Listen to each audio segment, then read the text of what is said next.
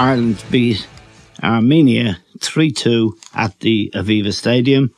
Armenia had beaten us uh, in the first game uh, of this series of what's called the Nations League, which seems a rather pointless competition from many points of view, but it does give managers a chance to get their players together and for an international team manager, a, a week with your players is a very rare chance to change things. And I'm joined now by two of Ireland's greatest ever footballers and best analysts, really, John Giles and Liam Brady, both of whom were in the stadium last night. Liam working for RTE and John as a guest of the FAI. John, what did you make of the game last night from start to finish?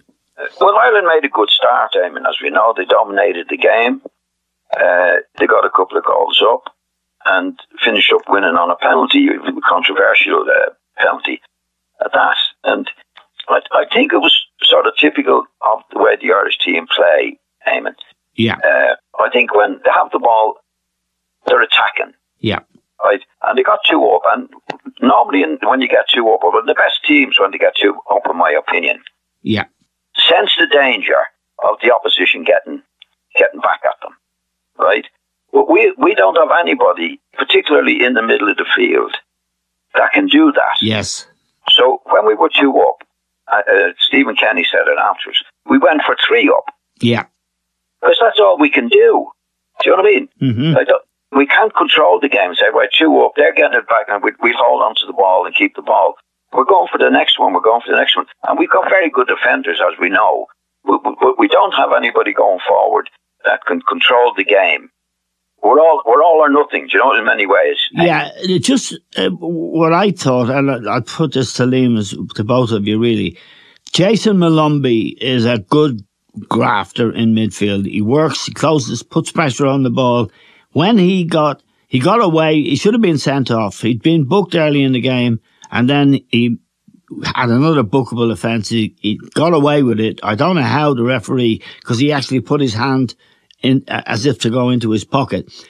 Immediately after that, Stephen Kenny took him off and put Conor Hourihane on. Now, a lot of the scrapping in midfield, a lot of breaking up the uh, Armenian play was done by Molumby. When he went off, I thought that made a difference. Uh, would you agree with that, John? Uh, up to a point. Right. He's good at winning the ball, but my take on is when Ireland get the ball. Yes, I know that. The best yeah. way to the best way to defend it is when you have the ball. Yep. There's only one ball on the pitch, and, Yep. and like if you get a top player in the middle of the field, uh, you notice you pick it up. This is we're, we're, we're under a bit of pressure here. Better get a hold of the ball. A little ball here, a little ball there. Liam could do it right now. Now there's not many Liams around as we know, Yep. but that's the that's the way I see. it. I don't. I think the, the lad you mentioned is a good grafter. Molumby, yeah, Yes. he's a, he's a he's a kind of he, he's a worker, box to box. Yeah, he's a worker. But what you need somebody though, somebody that can get on the Yes. ball, Eamon. Hold it, give it here, give it there, take the pace off it. Yeah. We don't have anybody. We're, we need, we're all go Yes, or no go.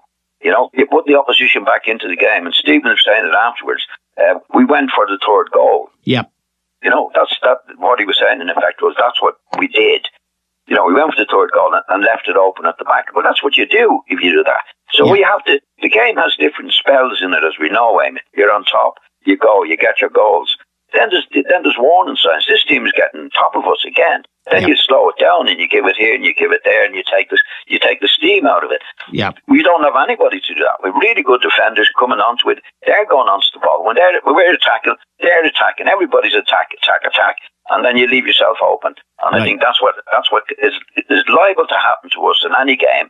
And it happened. I think it happened last night. yeah. Liam, what did you make of it? Because I know we didn't have a chance to talk to you on Monday, but I know from watching you on uh, Saturday night after the Scotland game, having been you know skeptical of Stephen Kenny and his the way he plays and what he'd done. You were impressed with the performance in Scotland, uh, as indeed I was, and I think John was too. It was a good game, and in the end, an unfortunate penalty won it for Scotland. But you said, yeah, this is progress, and you were impressed up to a point, having been skeptical, and rightly so, of whether Stephen was the man for the job. What did you make of last night and the way we kind of, I think you used the word complacency when you were analysing the match after the game last night. Lack of concentration. I, I would agree with that. And also lack of leadership. Someone to, you know, to be telling the guys around him, a Roy Keane, a John Giles, Liam Brady, or even me. Come on, let's get our shit together. We're, we're, what are you laughing? I could talk. I couldn't play, but I could talk. Come on, well, anyway. Uh, it's your opinion. Right, Eamon, right. It was good. It was good for 70 minutes. Uh, it wasn't, it wasn't exceptional, as Stephen Kenny said. Yeah. In one of his quotes, uh, to Tony O'Donoghue after the game. I thought that was uh, greatly exaggerated. It was good, and we were in control of the game against a team that really showed very little inclination to try and win the match. Uh, yes. Armenia just sat back, and it almost looked as if they were trying to keep the score down. You know, yep.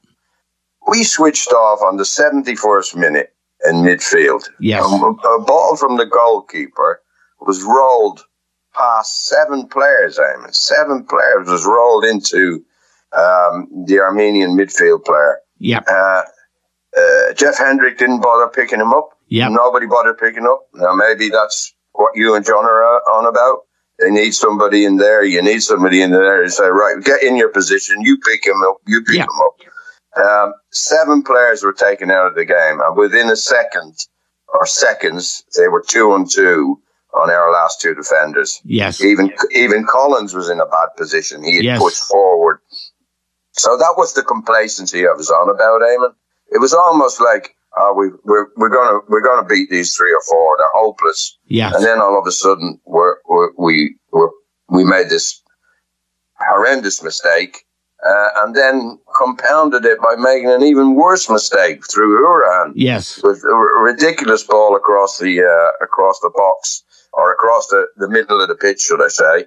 And, uh, and then we find ourselves 2-2 after being totally in control of a match and, and look like going on to win three or four. So we really, we really made our own problems. And I, I was a bit, I, I was a bit disappointed in Stephen Kenny when he come on the, he should have been saying, look, there's things to sort out in that dressing room. We know it. Yeah. Yeah. We were good for 70 minutes, but you can't have that kind of you can't have that kind of organization. You can't have that kind of play.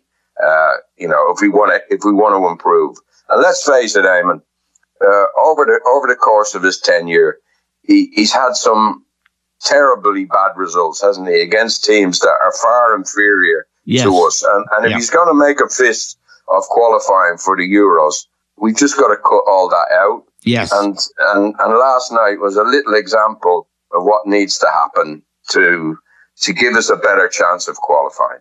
Yeah, John, the question of when you, the game, we're 2 0 up and the, the sort of zip has gone out of the game, the complacency's there. People aren't getting tight on the opposition because mm. this opposition, I mean, Armenia were hopeless. I think they're one of the worst teams I've ever seen. Mm. Didn't even have the spirit. And as Liam describes it there, that's exactly what happened. At some stage in that process, somebody needs to, to be yeah. a, a, Roy Keane. And, you know, an awful lot of Roy Keane, as we know. And I remember him playing for Ireland when we qualified uh, for the World Cup, uh, mm. playing against Cyprus, for example. He'd be going, he'd be geeing up people around him uh, mm. and letting them know we didn't yeah. have that. And we, we don't, don't we don't. Yeah, but there's not many Keanes around, Eamon. No, no, but, but, there's lots of. Well, we don't. Well, we don't have anybody like that. Yeah. You know, that's that's what I was trying to explain to you just early yes. on. Like it, it, it, when when you got a, a, situation like that, when you playing the game, as we all know, it comes and goes, Eamon. It comes in your favour, then it goes against you. You don't be on top for ninety minutes, or very very seldom, very very seldom. But we were on top for a long time. But a time when you've got to be careful, you've got to do, do and and as soon as there's any sign of the team getting back into it, there should be somebody there to, to, to notice it and be able to do something about it. Right. I don't see us having anybody like that. So when we're attacking at times, very, very good. The defenders come into it and it's very, very good. But it's very fragile. Yes. Like when we, we don't have anybody say, this, this is going against us, you know, a little bit. So we get a grip of the ball. You get the you give it here, you give it there. You, you just take the take the, the, the, the heat out of it. Yeah, we've nobody like we're, we're all or nothing. We're we're, either- we're either attacking from the back, they're going forward, we're getting goals, or we're losing goals. The same in Scotland. I mean, you know, we were ahead in Scotland Yep. and we lost two goals. Yep. You know, and when you get ahead like that, there's there's, there's a different way and certain ways of playing. Yep. Like in other words, get the ball, hold it, take the steam out of it Yeah. until you get back on top again. We don't have anybody to do that. So we're all or nothing. We're all go, go, go at the opposition, or we have a good chance of conceding goals. And that's what happened last night, in my opinion, yeah. Yeah, no, I, I agree with you. And there's no doubt about what happened. The question is why. And the why is down to a mentality, really, your mentality as a team. You know, if you're well on top of a team like that, but you do need people. I mean, when you were playing, John, I played with you for Ireland. I, I didn't have the pleasure of playing with Liam, but certainly you'd have guys, and you were one of them, you know, who was basically saying we need to up the tempo, we need to pressure the ball more, don't let these fuckers back in the game. You need to have that attitude. Mm. And it's, it's an attitude that's so- sort of missing. Yeah. So the next question, John, is about Stephen Kenny. That debate still goes on. Now, there's some idiots in newspapers. You can only call them idiots. Mm. I, I don't think soccer is even the, the sport they follow. And I, I won't name names. But he's now facing, I think he should be judged after the Euro qualifications. And I think I can see, say, uh, you know, I can see the improvement in players. Collins is an amazing player. I think he's going to be an amazing player, but I thought he lost his discipline a bit last night. I don't know, Liam, you were at the game, but I thought he was wandering all over the place and he didn't have a, a he was on the right of the, of the back three, but I thought he wandered forward and he kind of lost his concentration. Now he's going to be a top, top player, but where do you feel now, Liam, we need to go with Stephen? Well, uh, well, I mean, we need to s- s- just cut out these unnecessary defeats or even draws against lesser teams. You know, we Yeah. can't have that anymore. And I think when the Euros kick off, we're going to have uh, maybe a team of our capability in our group and, and one inferior team. And we've just got to get the points on the board against these Yes. teams because we've compromised our chances both in the, the World Cup the last time, Eamon, and the Nations League. Uh, we've compromised our chances in the first two or three games against Yes. poor, poorer opposition. So we've got to cut that out. Now, I, I'm, I'm hopeful and I'm optimistic we will, you know, and things need to be learned from last night. You need, you know, uh, we had, we had John on the field when he, when he, uh, when we, we were playing with him and John would say, right now, you pick him up, you pick him up. Yes. That didn't happen last night. I think they thought, oh, we're going to go on and win this match. After Obafemi scored a really good second goal, they thought they were going to go on and win the match comfortably, and they switched off. Yeah. You know, and they let they let the Armenians back in the game. Jeff Hendrick, really, with his experience, uh, might have been expected, Liam, to do that. He's 30. Absolutely. Eamon. Absolutely. Yeah, I thought he was poor last night. I Yeah. thought he was poor on the ball, but he was particularly poor in the instance of the of the of the first goal for Yes. Armenia. He didn't bother uh, getting close to the guy who picked the ball up and and counter attacked us. Yeah. So you know, Stephen needs to put those things right. That's that's what's damaging him. You know, and if he gets, if he, I know you you're saying that uh, we want him to have the Euro campaign to see how far we go. But Eamon, if he was to have a really poor result like we've had against Luxembourg or Yes. like we had against Azerbaijan, or uh, he's not going to survive. It's just not going to happen. You Yeah. know. No, I appreciate Uh, that. The, the, the people in, in power will panic and they will change. So he, he and his team of coaches and, and the players have, have got to make sure that, that that just doesn't happen. And that would be the sign of the improvement that we desperately need. Yeah, and I want to talk to you about obviously. I mean, when they were two two last night, Liam, you know I've been a pretty ardent supporter of Stephen and, and what he's done and the way he's done it. But my heart sank because this is kind of this is crazy stuff. I, di- I didn't actually agree with the substitution of Hourihane either, um, but that's uh, not a major matter. John, one of the thing reasons that I am so supportive of him is Obafemi comes into the side. He's not playing at Swansea at the moment because he's having a row with the manager. He wanted to get away, but he's a he, he really is playing well. Uh, he did really well again last night, and O'Shea, this young lad from West Brom, and Egan, as well as Collins, these are really top players. He's brought these lads into the team. They, they, there's a confidence about them when they come into the team. They don't look frightened the disappointment in the last two games, Troy Parrott, who I know is a very good player, but he just hasn't scored a goal this year, and strikers out of form can really be nervous. But I, I want to go back to ask you, John, what you think now, because you've been kind of supportive of Stephen. What do you think we need to do? Let him go on and see how we get on in the Euros, where we'll be in the third seeds We'll be in pot number three. So that means there'll be quite a few big nations in pot number two, incidentally, including England, I think. But we need to give him that chance. Oh, there's no doubt. I think there's no doubt about that, Amy. Right. You know, I think he's. He, I think he's done a lot of good stuff in bringing these players in. Yeah. And that's progress. Yes. But, but then you have to go the step further. Yes, then. You know, once you get step. those good players in, yeah. As Liam said there, you can't afford to be doing what you did last night. No, no. Which is winning the game, winning it easily. You know what I mean? And yeah. finishing up getting a, getting a penalty in the end yeah. to win it. You know, you, you should be, these players should be given on the pitch what the manager's saying. You know, when getting yeah. to a certain position, what Stephen said afterwards, we went for the third goal. Yeah. Right? Well, that's up to him. You yes. know, that's what I've said. What I'm trying to say is like with, with Stephen, it's attack, attack. It's all or nothing. Yeah. You know, there's certain periods of the game where you've got to say, when you, especially when you're two up, I mean, there's little signs. Even when you're two up and there's no signs, you say, right, we're going to keep this. Yeah, it's but, game game management, John. Is it's what game they, management. Is what said, we call but, it. But yeah. I don't think Stephen encourages that, Eamon. Do you yeah. know what I mean? I think he says, well, like when he says we're going for three up, I'd say that's what he tells them to do. Yeah. You know, when he certainly doesn't stop them from doing it. In right. other words, there should be certain times in the game where certain player he has in the middle of the field says, look, or get a message on, try it up.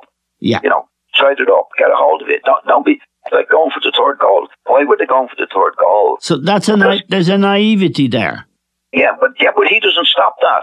Right. You know what I mean? He, he didn't say after the match they, they shouldn't have gone for the third goal, or even before. Like it should be established now with Stephen as manager, with the players when we get into that position, we're too, when we're too good and we're well comfortable, and there's yeah. any sign at all, yeah, we play it out.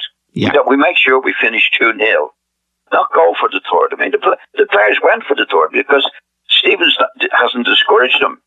Yeah. Uh, what's your view now, Liam? I mean, the, the, the, the positives of Stephen is bringing in very young players, they're teenagers really, uh, Collins, for example. O'Shea and Egan are more experienced. Well, we could have, we, we could have had three or four playing the under twenty one. We could have had Israel. four. Yeah, yeah, we could have so, had four players uh, going to Israel, and we. So that's a measure. That's a measure of what he's done. He's brought these young lads yes. on, and they're all getting plenty of games now at, at full international level. But they've got to learn from their experience, and yeah. you know, it showed last night that they still have a a way to go as regards uh, learning uh, the, to how to control a game and how to finish the game off. We weren't actually going for the third goal when we conceded our no. first one. It was just switched switched off, you know. Yes. Uh, Hourihane and, and Hendrick in the middle of the park, they weren't picking up, and the next minute, uh, uh, the Armenians were, were were on the edge of our box. You know, that's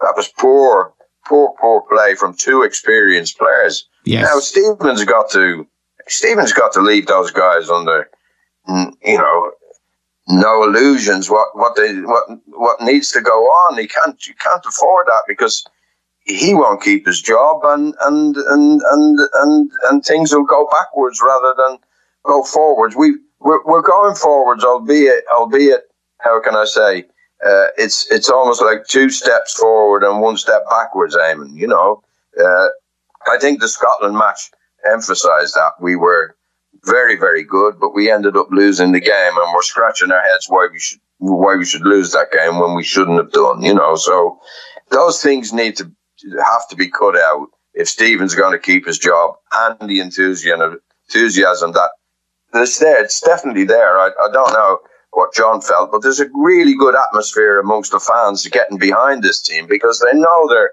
they're still learning on the job as yes, such. Yes. Uh, and and I, I, think the crowd are, are, are with them. So uh, Stephen's really got to take uh, take this on now into the next campaign, and we've just got to uh, make sure that we don't do anything silly like we've done in the you know we've done in the past and we did last night up to a certain extent. I know we won the match. And for the purposes of this conversation and going forward, Liam, do you think he should keep his job and be judged at the end of the Euro, Euro qualification process?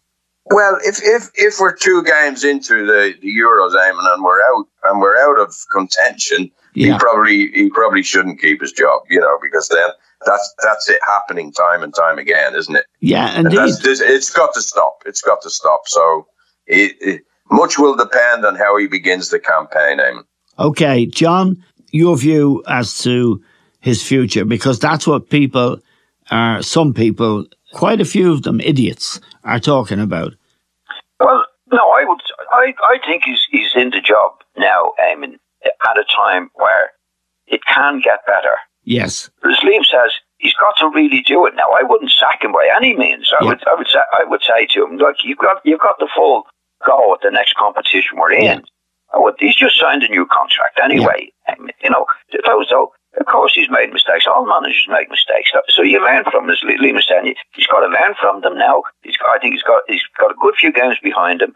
Uh, there should be no talk from anybody about him being sacked at right. this particular stage. Let him get on with the job. The next tournament we're in, and see, see he has an opportunity to really do do his stuff yes. now. Aiming after, and that's it. Leave, leave him alone. Let him get on with it now.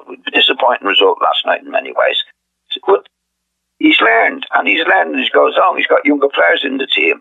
Give him the go. Let him have a go and, and, and, and we'll see in the next tournament whether it's working or it's not working. But leave him alone for the, for the time being and let him get on with what he has to do.